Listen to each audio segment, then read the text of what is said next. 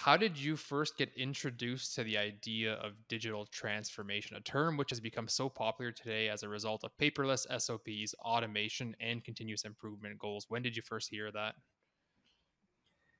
Yeah, I mean, it would probably have been around five, six years ago when I was at a, another flavor company. And uh, we really, you know, that's when the term like Internet of Things and all of that started to become all of the, you know, the buzzwords and, and the catchphrases. And we were trying to figure out what can we do to reduce how much paperwork we have on the floor. We're asking operators to do.